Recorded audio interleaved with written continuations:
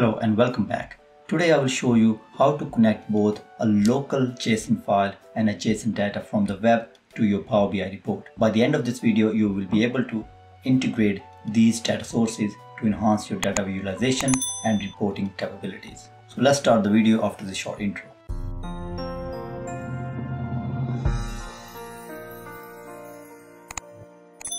I have opened Power BI desktop. From here I will click on blank report First, let's connect to the JSON file from your local PC. I will click on get data dropdown and click on more. I can see the JSON type document import facility here. If you don't see the JSON document type here, you can search for JSON and then you can get it. So you will select that and click connect. It will open up your local file explorer. You have to search for that document you want to load so I can see there is a sample for document which is a JSON type. I will select that and click open. Once the connection is established with your JSON file sitting on your local PC, you will see the Power Query editor window open and you can see on the left hand side the query which is a table name is essentially the file name. So you can see the records within that file. So there were three records in that JSON file.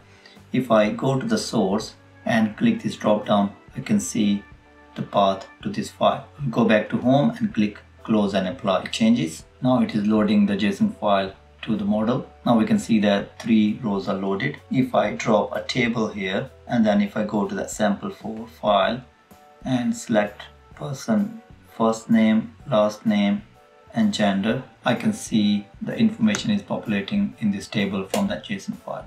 So this is how you connect a JSON file from your local PC.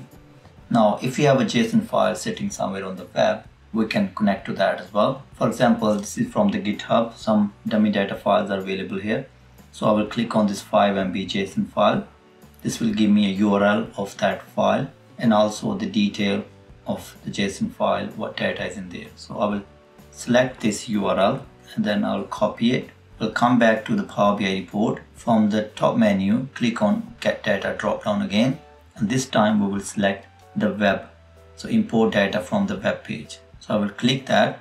I will paste the URL we initially copied from that JSON web page. I will click OK. Once the connection is established with the JSON file from the web Power Query editor will open. So if I click on the source and then click on this drop down here we can see that this report is connected to the JSON file from the web. And the file name was 5MB so it is created a table called 5MB so if I go to home click close and apply. Now we can see the 5 MB table is also appearing here. I will drop another table and then from the 5 MB I will select name maybe ID and bio.